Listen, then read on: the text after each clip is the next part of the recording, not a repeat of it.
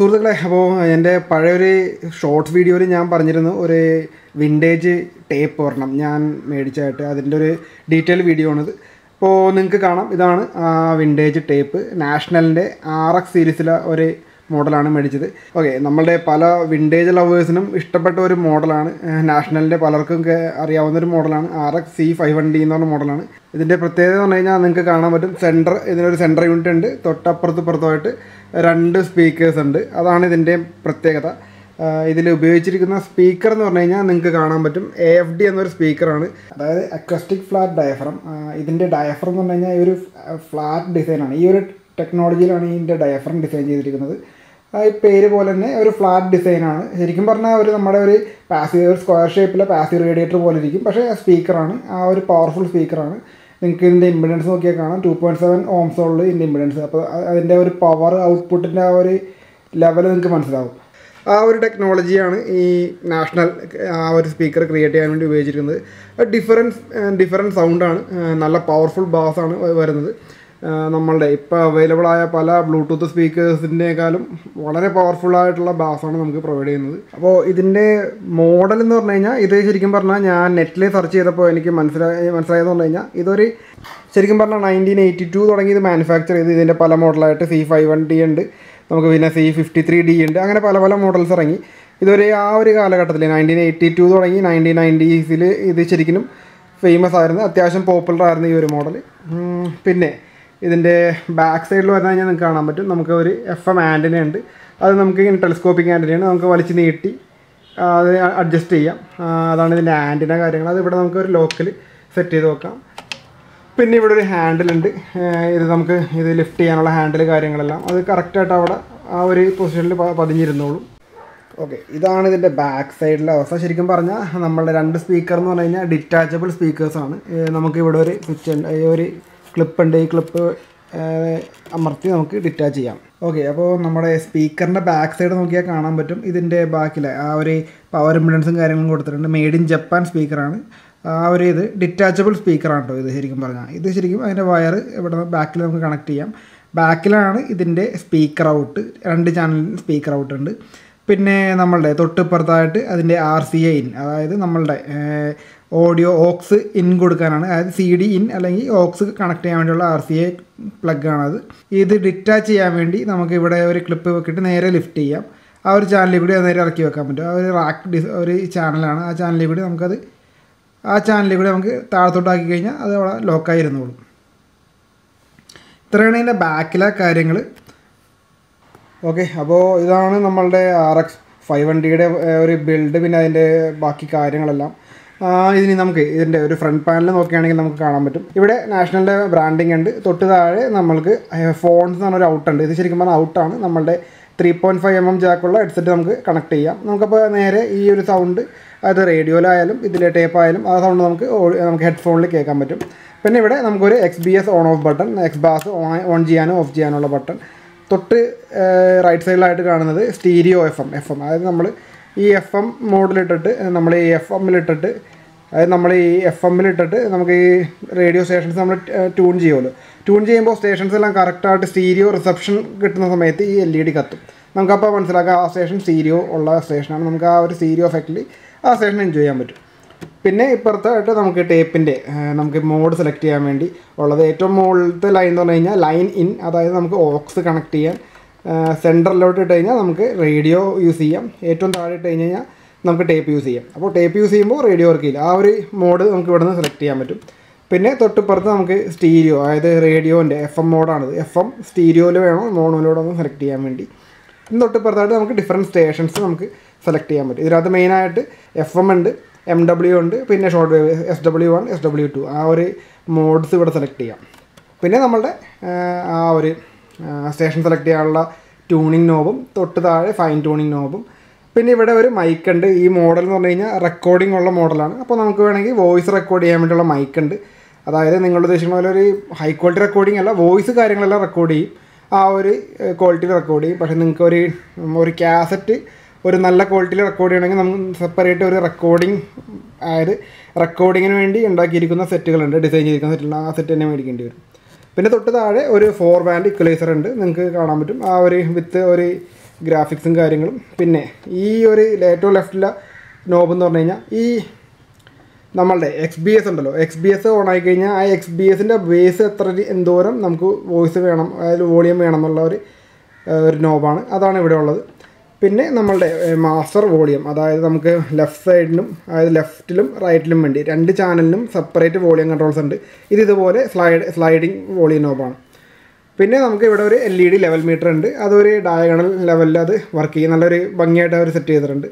ഇതൊക്കെയാണ് ഇതിന്റെ മെയിൻ കാര്യങ്ങൾ പിന്നെ നമുക്ക് ഇത് നമ്മളുടെ മെയിൻ ടേപ്പിന്റെ കൺട്രോൾ സ്വിച്ചസ് ഇവിടെ നമുക്ക് എജക്റ്റ് ഉണ്ട്.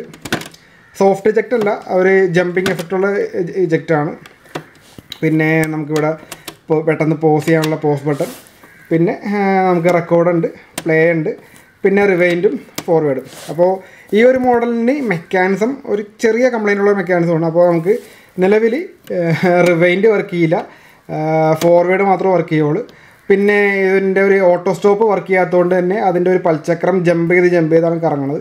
അപ്പോൾ അതിന്റെ ഒരു ചെറിയ നോയിസ് ഇവിടെ നിന്ന് ഫീൽ ചെയ്യും. പക്ഷേ നമ്മൾ വൺസ് സോങ്സ് എന്ന് പ്ലേ ചെയ്ത് സൗണ്ട് അത്യാവശ്യം നല്ല രീതിയിൽ സൗണ്ട് വെച്ച് കഴിഞ്ഞാൽ ആ ഒരു സൗണ്ട് നമുക്ക് ഒരു ജമ്പിങ് ഫീൽ നമുക്ക് കിട്ടില്ല. ബാക്കി നമ്മളുടെ സൗണ്ട് ആ കാര്യങ്ങളെല്ലാം എ എഫ് ഡി സ്പീക്കേഴ്സ് നോക്കിക്കോളും. അത് നല്ലൊരു എഫക്റ്റിൽ നമുക്ക് ഇതിന്റെ സൗണ്ട് കേൾക്കാൻ പറ്റും. അപ്പോൾ ഞാൻ അധികം വലിച്ചിട്ടാതെ നമുക്ക് തന്നെ ഇതിന്റെ സൗണ്ട് ടെസ്റ്റിങ്ങിലോട്ട് പോകാം. ഓക്കെ അപ്പോൾ നമ്മൾ ഓപ്പൺ ഏരിയയിൽ വെച്ചൊക്കെയാണ് ബാക്ക്ഗ്രൗണ്ട് നോയ്സും ഡിസ്റ്റർബൻസ് ഉണ്ടാവും. ക്ഷമിക്കുക. എന്റെ പരിമിതികൾക്കുള്ളിൽ ഞാൻ എടുക്കുകയാണ്. അപ്പോൾ നമുക്ക് എന്തായാലും ഇതിന്റെ ഫസ്റ്റ് ടെസ്റ്റ് ചെയ്യാൻ നോക്കുന്നത് ഇപ്പോൾ നിലവിൽ ഇപ്പോൾ വെച്ചിരിക്കുന്നത് ടേപ്പിലാണ് ടേപ്പിലോട്ട് പോകുന്നതിന് മുമ്പ് നമുക്ക് റേഡിയോന്റെ ആ ഒരു ക്ലാരിറ്റിയും കാര്യങ്ങളും ചെക്ക് ചെയ്യാം Siddharth Abhimanyu. Good luck.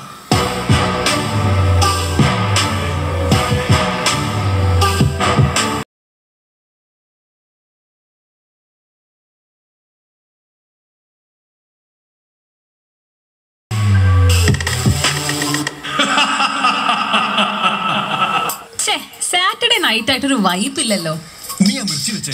മിർച്ചിക്ക് ടൈമായെന്ന് പ്രാകൃതിക് അപദാവകാശമായ വ്യവസ്ഥ സമ്മതി അങ്ങനെ ശ്വാസം മുട്ടിക്കുന്ന ഒരു അവസ്ഥ ഇപ്പോൾ നിലനിൽക്കുന്നുണ്ട്. പ്രത്യേകിച്ച് പ്ലാസ്റ്റിക് മാലിന്യങ്ങളുണ്ട്. അപ്പോൾ ഈ പ്ലാസ്റ്റിക് മാലിന്യങ്ങൾ മണ്ണിലേക്ക് ഒഴിച്ചെറിയുന്നത് നമുക്കിന്ന്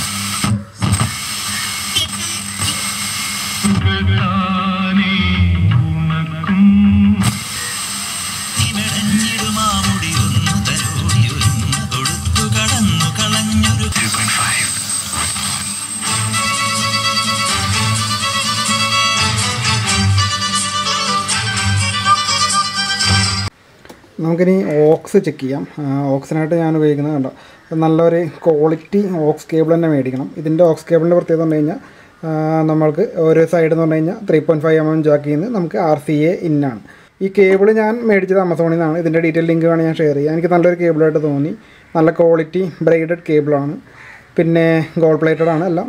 അപ്പോൾ ഇതൊക്കെയാണ് ഈ കേബിളിന്റെ പ്രത്യേകത. ഇതിന്റെ ലിങ്ക് ഞാൻ ഷെയർ ചെയ്യാം. നമുക്ക് പെട്ടെന്ന് ഇതിന്റെ ഓക്സ് ചെക്ക് ചെയ്യാം. ഓക്കെ അപ്പോൾ ഓക്സ് ചെക്ക് ചെയ്യാൻ വേണ്ടി ഞാൻ ഉപയോഗിക്കുന്നത് സോണിയുടെ ഒരു പഴയ മൊബൈലാണ് ഇവിടെ three point five M jack ഈ സോണിയുടെ ഫോണിൽ കണക്ട് ചെയ്ത് മറ്റേ R C A input R C A cable നമ്മളുടെ ടേപ്പിന്റെ ബാക്ക് സൈഡിൽ കണക്ട് ചെയ്ത്. അപ്പോൾ ഇതാണ് നമ്മളുടെ പ്ലേ ചെയ്യണ song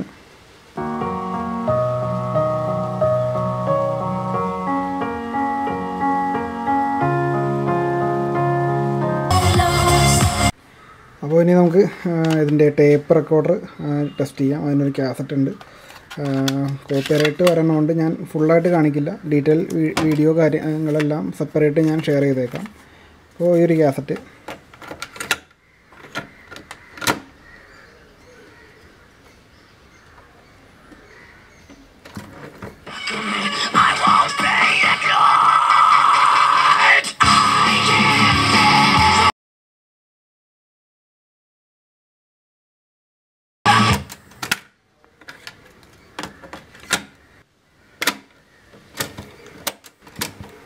all fake, the honey's on. Fuck if I'm wrong. Test my dead on robbery. Okay നമുക്ക് വേറൊരു ആൽബം ബാക്ക് സീറ്റ് ബോയ്സിന്റെ ബാക്ക് സീറ്റ് ബാക്ക് എന്ന് പറഞ്ഞ ആൽബമാണ് ഓക്കെ